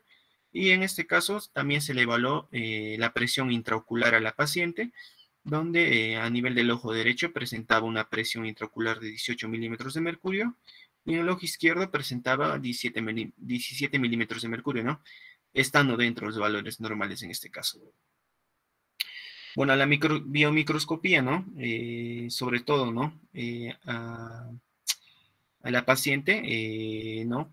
Se le observó la presencia de terigen nasal grado 2, en este caso, y una queratitis puntual, ¿no? Como vemos en la imagen. Bueno, en la primera imagen, como vemos, es una queratitis puntual, ¿no? Que se observa muy bien en este caso. Y en la segunda imagen, ¿no? Tenemos lo que viene a ser en este caso el terigio, ¿no? grado 2, en como vemos. Y bueno, para explicar un poco más, eh, tenemos cuatro grados en este, eh, de terigio que presenta el, eh, bueno, que se conoce. En este caso, ¿no? El grado 1, sobre todo va a haber, ¿no? Terigión hasta el limbo, ¿no? Hasta el limbo esclerocorneal. Bueno, en este caso, el, el, grado 2, ¿no? Ya vemos que sobrepasa en este caso, ¿no? Lo que viene a ser limbo y compromete también lo que es la pupila. En el grado 3 vemos, ¿no? sobre todo, ¿no? Que en este caso ya el, el grado, perdón, el grado 3 ya compromete en este caso, ¿no? Eh, llega hasta la pupila, ¿no? Y el, grado 4, que podría ser el más grave en este caso, ya sobrepasa en este caso la pupila. El siguiente. Bueno, a la oftalmoscopía, eh, en este caso presentamos dos imágenes. Eh, me gustaría preguntar a mis compañeros en este caso. bueno, tenemos una primera imagen en este caso a nivel izquierdo. Y bueno. Mm, a ver. Mm, Iván, eh, ¿qué se observa en este caso? En la, ¿Qué observas, no? En este caso, en la imagen izquierda, ¿no? En la primera imagen. Ah, Iván, Iván, ¿pasa? Perdón. Sí, sí. Ajá. Eh, ¿Qué observas en este caso en la primera imagen? La imagen izquierda. Bueno, vemos ahí un fondo de ojo.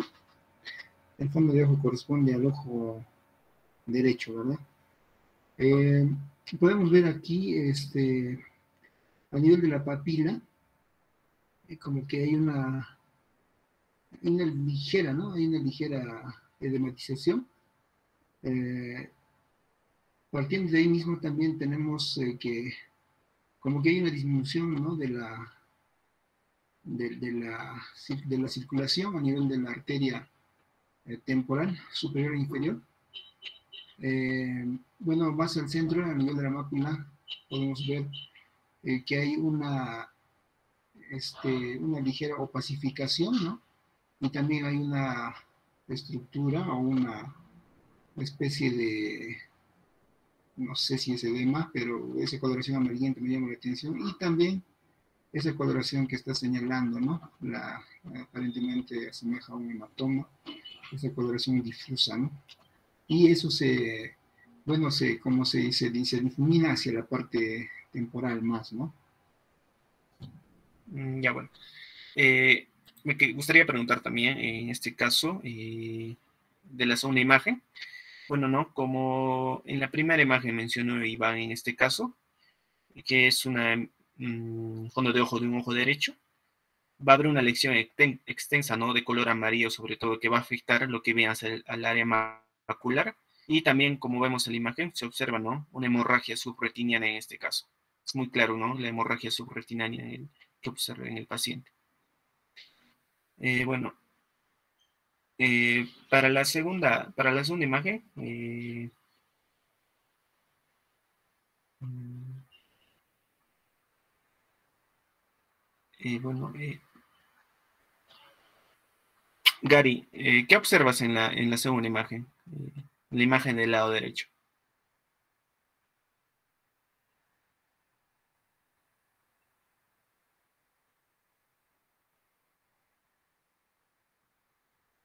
Bueno, eh, Gilbert, eh, ¿qué observas en este caso, en la imagen del lado derecho? ¿Qué se llega a ver en este fondo de ojo? Sí, a ver. Aparentemente también una hemorragia subretiniana. Y bueno, la lesión también amarilla, ¿no? Eh, siguiente. Bueno, ¿no? En este caso se observa, ¿no? Eh, lo que a ser en la mácula, lesiones blanco-grisáceas, ¿no? Sobre todo eh, de bordes mal definidos, y como, y en este caso, ¿no? Esas lesiones se van a llamar lo que se van a hacer drusas blandas, ¿no? En este caso, que van a afectar sobre todo al área macular, ¿no? Eh, siguiente. Eh, ya continuando, vamos a ver esta angiofluorescencia. Em, en el ojo izquierdo, en el lado izquierdo, eh, Julio, ¿podríamos decirnos qué puedes observar? Eh, perdón, en la imagen derecha.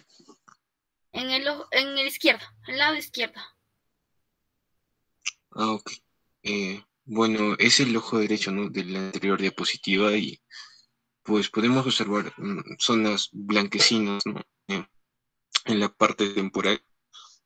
Y bueno, también tenemos la impresión. De la hemorragia subplatiniana también que mencionó, ¿no? Eh, la parte negra que está señalando. Mm, bueno, eso que creo que podría notar. Ya, está bien. Entonces, como podemos observar en la imagen, vamos a ver una, eh, bueno, esta angiografía es T2 sería, ¿no? Y vemos una situación que está habiendo.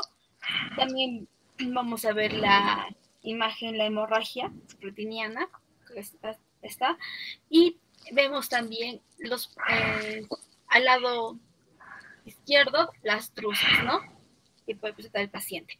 Entonces, en la imagen derecha, que viene a ser la otra etapa de la angiofluorescencia, ¿qué podríamos eh, observar, eh, Marjorie?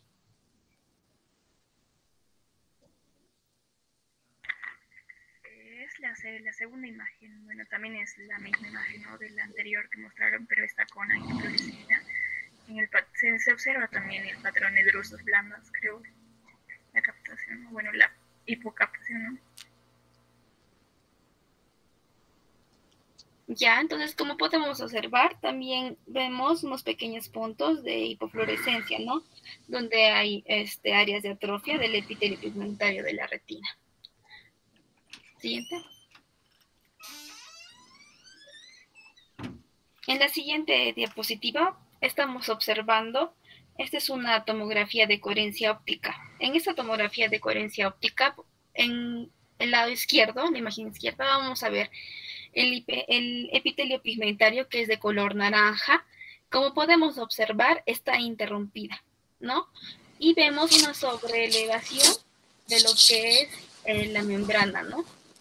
En cambio, el ojo derecho, o en el ojo izquierdo, ya también, también en la línea naranja vemos como pequeñas ondulaciones intermitentes de lo que es la membrana, este, el telepigmentario, que esto puede ser producido por las drusas, ¿no?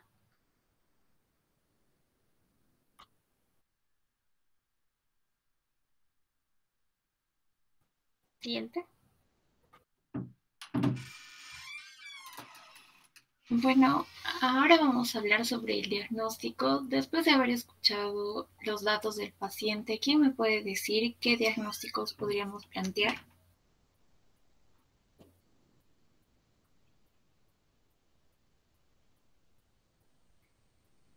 Degeneración macular. Mm, Sí, también. Aparte de ese, otro más. Hemorragia subretiniana. Sí, también puede ser. Siguiente, por favor. Bueno, aquí tenemos los diagnósticos. Va a ser una degeneración macular húmeda con membrana neovascular subretiniana en ojo derecho. También presenta una degeneración macular, eh, también puede ser una degeneración macular seca en el ojo izquierdo, una queratitis punteada y un pterigión nasal. Siguiente, por favor. En el diagnóstico diferencial podemos plantear lo que es la retinopatía hipertensiva, también la condición inflamatoria o infecciosa, también puede ser una miopía degenerativa o un macroaneurisma. Siguiente.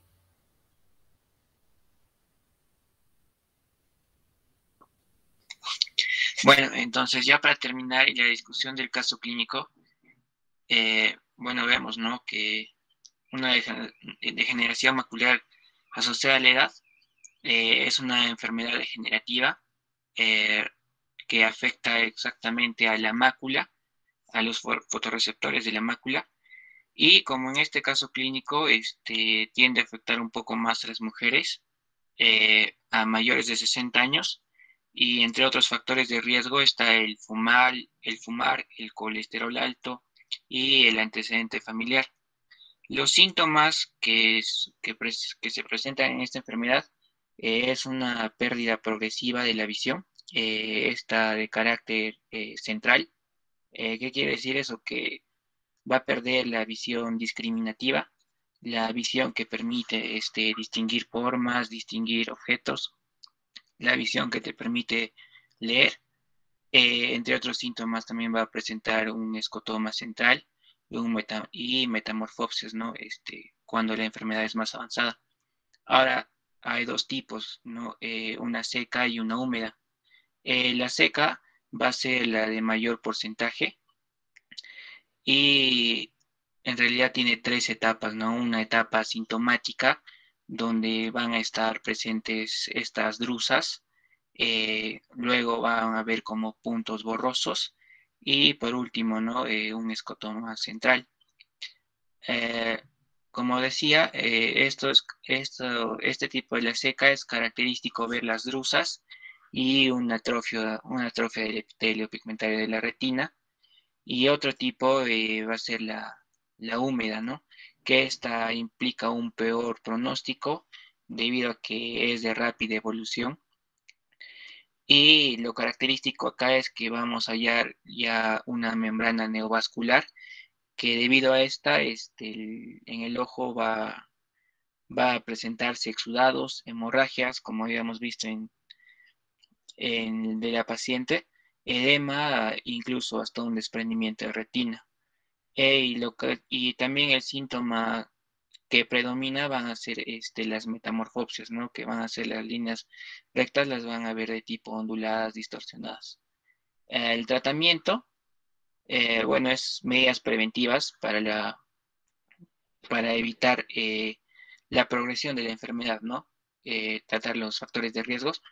Eh, luego este, tenemos la fotocoagulación con láser para las lesiones extrafobiales, ¿no? Que no estén exactamente en la fobia, debido a que, bueno, si nosotros fotocoagulamos eh, esta zona, este, podemos realizar más daño del que ya tienen, ¿no? Y este, los, los fármacos anti que, bueno, por su efecto angiogénico, eh, son pues no los de elección para los que para, para las formas húmedas y un ejemplo de ello es el ran, ranibizumab. Eh, también podemos utilizar corticoides y este, cirugía submacular y translocación macular. un dato importante que nos dice ¿no? el artículo es a nosotros los médicos de primera línea es no esperar a que los pacientes lleguen ¿no? a, a presentar hemorragias, a presentar exudados, a que tengan una pérdida importante ¿no? Del, de la visión. Entonces nosotros debemos realizar lo que es este, la medicina preventiva, ¿no? Este, preguntar siempre ante pacientes de mayor edad, pacientes con diabetes, pacientes con hipertensión arterial, pacientes que fuman, pacientes con el colesterol alto, preguntar por síntomas este, por síntomas visuales, ¿no? Ya que debido a esto no muchos le prestan mucha importancia y así como eh, el, nuestro método, ¿no? En el examen físico, el IPA, este, agregarlo como si fuera de rutina la oftalmoscopía directa, ¿no? Contra, con nuestro oftalmoscopio y ver este, estas lesiones este, asintomáticas como son las drusas y poder referir oportunamente a este paciente para que tenga un diagnóstico adecuado y un tratamiento oportuno, ¿no? Y así eh, brindarle a estos pacientes más calidad de vida. Eso sería todo. Gracias.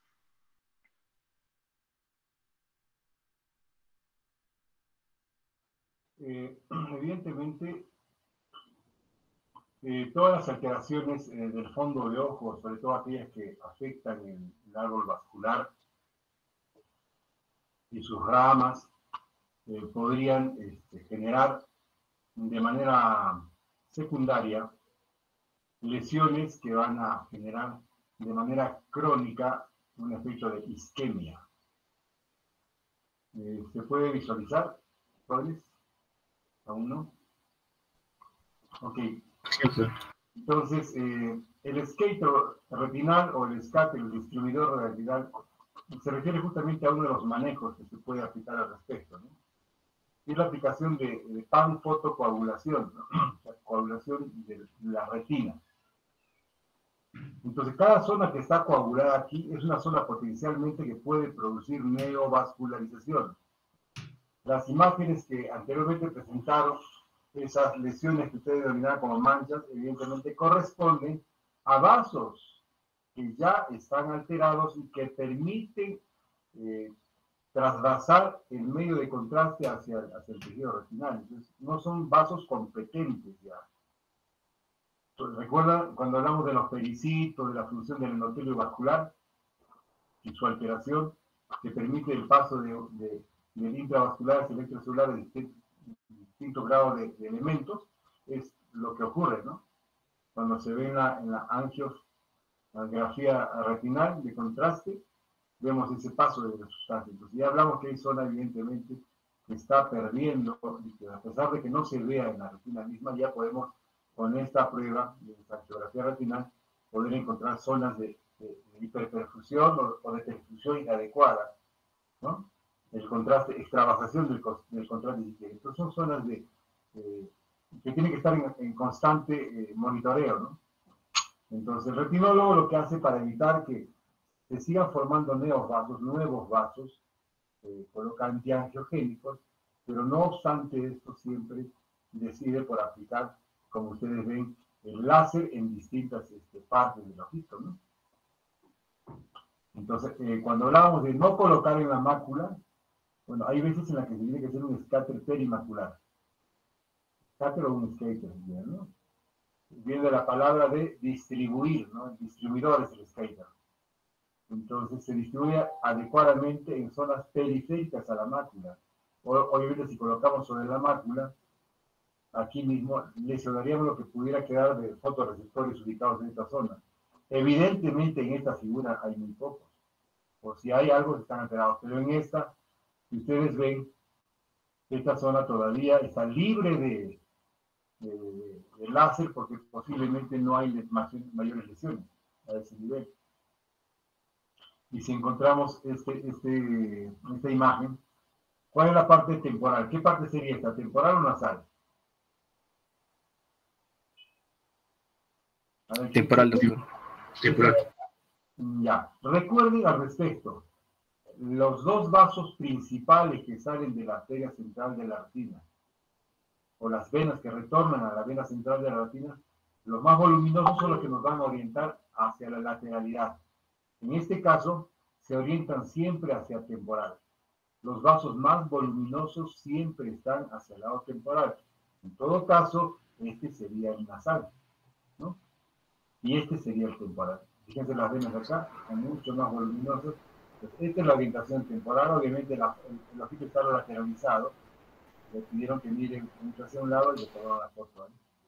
Y la mácula está por acá más o menos y empieza la, ¿no? Entonces, la mácula está temporal inferior a la papila. Aquí está la mácula, aquí está la papila. Este es un ojito. ¿De qué, de qué lado es el ojo? Derecho sería en este caso. Ah, gracias. Ok. Y bueno, vean la aplicación del láser, no sobre el vaso, sino en la retina periférica de los vasos.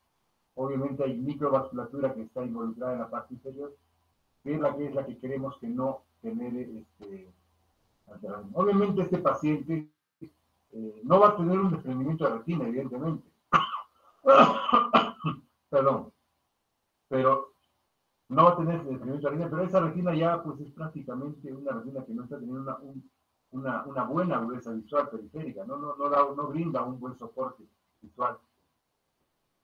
Y el no colocar el láser va simplemente llevar a que este ojito muestre zonas que no han recibido láser y que ya está mostrando microneurismas, macroneurismas, hemorragias pequeñas, y que se, fíjese, ya, esta, esta zona ya hay bastante neovasculación visible. Si hacemos una geografía acá, pues pero una, una, una catástrofe ¿no? Ojito ya tiene una mala visión. Sí, pero el láser no, ya no hace ver nada, claro, pero todavía tienes la retina aplicada a tu ojito y tienes ese ojito con forma de ojito, que si tuvieras una retina desprendida, lo que va a obtener simplemente, si no le colocan un tutor dentro del ojito, el ojito se va a deshidratar, se va a resecar y va a convertirse obviamente en un, pequeño ojito, un nostálgico, ¿no?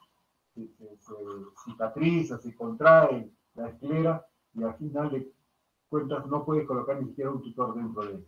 Entonces, con retina, obviamente, con una visión bastante complicada, con producto de estos láseres que están ocupando gran parte del ojito, a pesar de que este señor tiene láser en toda la periferia, tiene esta área de la mácula, que sería zona, parte de la zona 1 y parte de la zona 2, tiene todavía vitalidad X. ¿no? Entonces la colocado en la periferia, pero el centro no la han colocado, porque todavía está, está vital esa parte. ¿no? Este es más o menos el manejo que se hace, además del angiogénico, ¿no? Obviamente, eh, lo que quiero que quede claro es que entendamos el proceso, el proceso de isquemia que sufren estos vasos, producto de enfermedades crónicas, principalmente la diabetes, la hipertensión arterial, eso sí o sí es un proceso degenerativo que es inherente a estas dos patologías. Pensemos bien que eso está pasando en todos nosotros, en nuestros familiares hipertensos, en nuestros familiares diabéticos, eso está ocurriendo como un fenómeno de, cascada, ¿no? Entonces hay que tratar de evitar o favorecer que eso no sea demasiado acelerado para poder este, controlar y darle calidad de vida a los pacientes. ¿no? Pero ojo, tener en cuenta bien estos aspectos. Ok. ¿Alguna pregunta, jóvenes, hasta aquí? Ya estamos próximos a terminar. Tres minutitos. Les voy a pedir nuevamente, por favor, mientras tanto, coloquen su asistencia. Registre la asistencia. Gracias.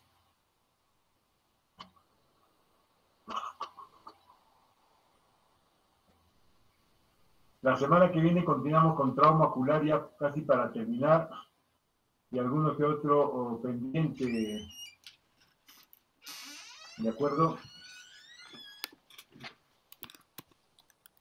Sí, doctor.